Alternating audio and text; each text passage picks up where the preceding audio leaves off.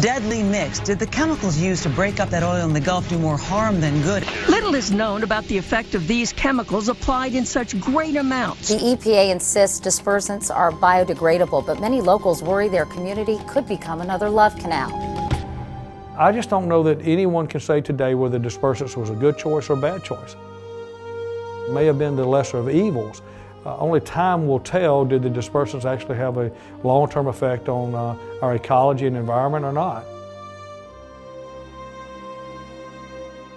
We have some unique facilities that enable us to simulate a, a real oceanic conditions in a very controlled laboratory setup.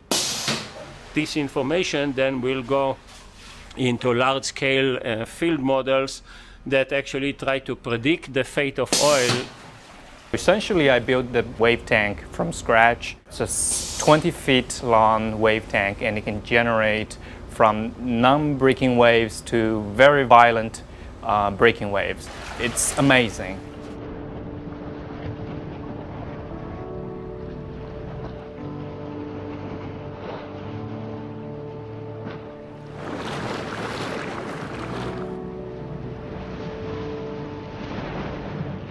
The Deepwater Horizon event was the first oil spill in which they actually went down with a submarine and injected dispersant into the oil that was coming out of the earth.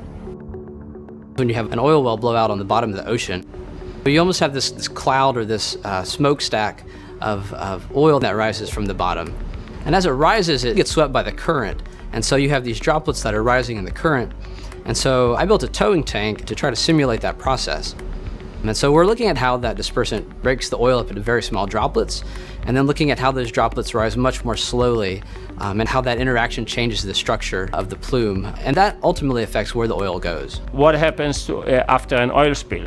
How fast the oil disperses, how much of the oil is going to end up in the marshes, how much of the oil will settle to the bottom. We need to answer those questions.